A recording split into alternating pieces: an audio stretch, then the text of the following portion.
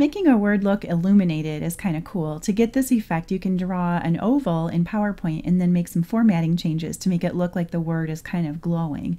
So let's go ahead and do that. On the Insert tab, we're going to choose Shapes and then pick the Oval tool. And we'll draw an oval onto our slide. And it's okay to make it a little bit big at first. You can always resize and change the dimensions after you've formatted it.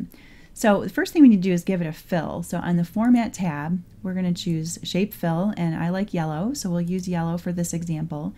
We want to get rid of the outline, so for Shape Outline, we'll choose No Outline. Now to get that kind of fuzziness around the edges, you can use this Shape Effects drop down right here and choose Soft Edges and it seems like around 10 or 25 point works pretty well. You can always use the soft edges options, which brings up another dialog where you can set the value exactly, but I think that you'll probably find 25 or 10 works pretty well. I like 25 in this example. Then we'll also want to give this a little bit of a transparency so it's not quite as stark of a color. I'm going to click in this little corner button right here in the Shape Styles menu on the Format tab. That's going to bring up this format shape dialog and it's already on the fill option. That's what we want. We're going to come down here to the transparency slider and just pull that transparency back a little bit. And you can see on my slide how my shape is changing as I adjust the value here. But if you pull that back just a little bit, it looks a little more organic and like it's really, you know, like it's glowing. So 18% works pretty well for my blue background here. We'll go ahead and go with that.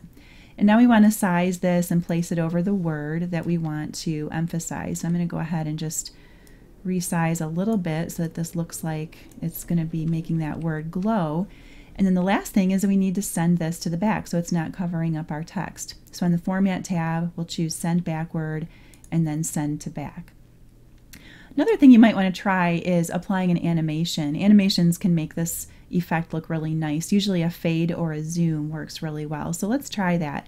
On the Animations tab, I'm going to pull down our selections here and we'll choose Zoom for this example. And we won't mess around with the timing or anything, we'll just see how this looks.